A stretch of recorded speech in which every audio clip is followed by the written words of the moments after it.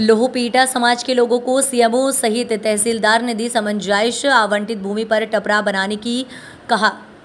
लोहपीटा समाज के लोगों को सीएमओ सहित तहसीलदार ने दी समझाइश आवंटित भूमि पर टपरा बनाने को कहा। बैराड़ नगर परिषद क्षेत्र में मैन बाज़ार में लोहपीटा समाज के लोगों ने अस्थायी रूप से टपरा बनाकर अतिक्रमण कर सालों से जमे हुए ऐसे में शहर को अतिक्रमण मुक्त करने बैराड़ तहसीलदार ज्योति लक्षकार और सीएमओ महेश चंद्र जाटव ने पहल शुरू की है। जहाँ नगर परिषद कार्यालय में सभी जन एकजुट हुए, जिन्हें तहसीलदार ज्योति लक्षकार और सीएमओ महेश चंद्र जाटव ने समझाइश देते हुए कहा कि आए दिन असामान्य दुर्घटनाएँ हो रही हैं। ऐसे में मेन बाज़ार में रोड किनारे रहना खतरे से खाली नहीं है। समस्त लोहपीटा समाज के किए शासन द्वारा बैराज माता मंदिर के पास भूमि आवंटित कर दी है, जहाँ सभी लोग उस भूमि पर ही अपने टपरे मकान बनाए हैं। बैराज से संवाददाता रविंद्र शर्मा की रिपोर्ट।